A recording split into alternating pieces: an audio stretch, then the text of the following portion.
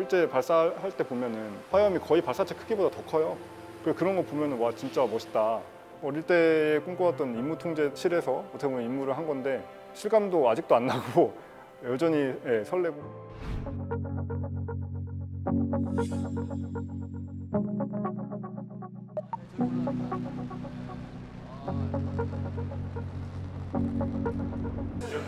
아, 기억, 기억나죠. 지금 1차 발사인가요, 이게? 그 위성 덮개라고 하는데 그게 한쪽이 분리가 안 돼서 실패를 했었습니다.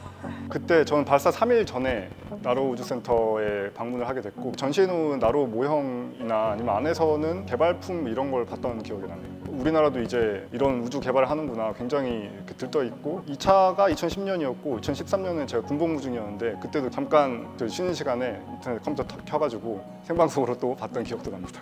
많이 덥시네요. 아 그렇죠. 아, 이거 엄청난 이벤트인데 봐야죠.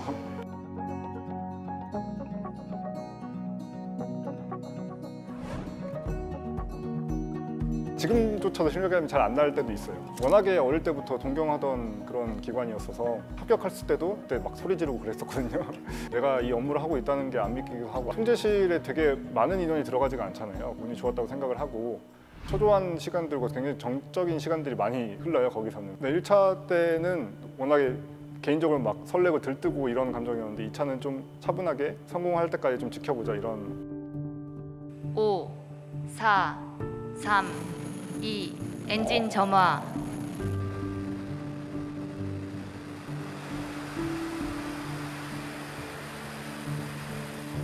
아, 아직도 떨리죠. 카운트다운부터는 말도 못하게 떠, 떨리고 이제 실제로 발사하고 이제 이륙하고 올라가는 게 전광판이 엄청 크게 보여요. 막 빨간색으로 막 다 바뀌거든요. 그런 거에 굉장히 압도당하기도 하고 저도 몰랐는데 다른 연구원분이 제 마이크 통해 가지고 제가 그런 말을 했다고 하더라고요.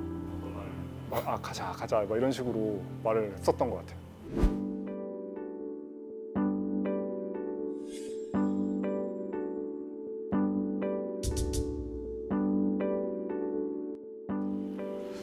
아, 나 그동안 뭐 함 지구식량 축냄. 어, 저도 같이 지구식량 축내고 있는 건 마찬가지인 것 같은데 누군가는 돈 낭비라고 비웃을 때 누군가에게는 이정표가 되어 주었구나. 꿈을 꾸던 존재에서 이제는 꿈을 쏘아 올리는 존재가 되었구나. 사실 저도 찾아봐요. 그래서 이미 다 봤던 거예요. 꿈을 쏘아 올리는 존재가 되었구나 이런 반응이 어, 굉장히 기분 좋더라고요. 13년 만에 연구원 된 거 보면 영감을 받아 꿈을 정한 게 아니라 진로를 일찌감치 정한 고등학생이 나로 발사를 보러 갔던 거 아닐까 싶긴 하지만 당시의 목격 자체가 원동력이 되었을지도.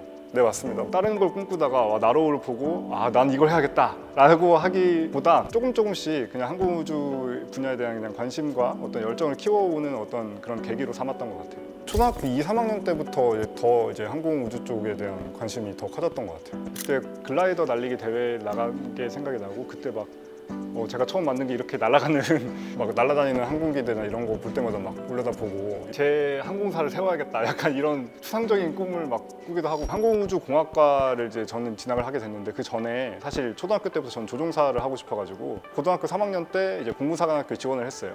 지원을 했는데 떨어져가지고 굉장히 우울하더라고요. 그럼 이제 난 뭘 해야 될까? 여전히 이제 항공우주가 좋고 하다 보니까 항공우주 쪽에 조금의 기여라도 할 수 있으면 하자라고 해서 화학이나 생물 이런 쪽이 노- 점수가 높았고 물리는 제가 좀 안 좋았어요. 근데 이제 항공우주공학과는 물리가 다잖아요. 좀 헷갈리는 것들이 많이 있어가지고 네, 고등학교 거부터 다시 했습니다. 아, 1학년 때까지가 고통의 나날이었고 근데, 계속 됐던, 됐던 것 같아요.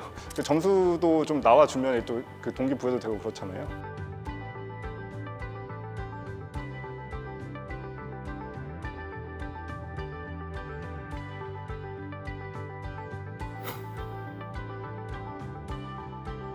되게 멋있더라고요. 그만한 고생을 했기 때문에 이런 감정 표현이 가능한 건데 저도 나중에 울 수 있는 사람이 돼야겠다. 나로 전에 개발을 해오셨던 이제 선배 연구진들이 대부분인데 거의 무에서 유를 창조하신 분들이랑 다름없기 때문에 굉장한 존경심과 경외감이 생깁니다. 네, 네, 네 맞아요, 맞아요. 하고 싶다는 생각을 했고 사실 나로 발사 때도 굉장히 정적인 그런 분위기였던 걸로 내가 만약에 저기 들어가면 막 이렇게 해야겠다 했는데 저 이상일 박사님이라고 계신데 그분은 해주셨더라고요. 맞아요, 맞아요. 어, 네, 그렇죠. 이거보다 더 큰 게 이제 세워지겠죠.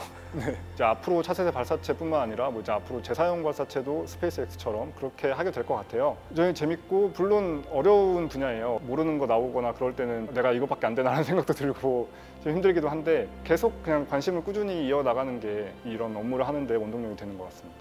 나로우를 보고 굉장히 꿈을 더 크게 키우는 계기가 됐던 것처럼 이제 누리호 발사를 보고 꿈을 이제 키워나갈 이제 어린이 분들의 어떤 열정 굉장히 응원을 해드리고 싶은 네, 마음입니다.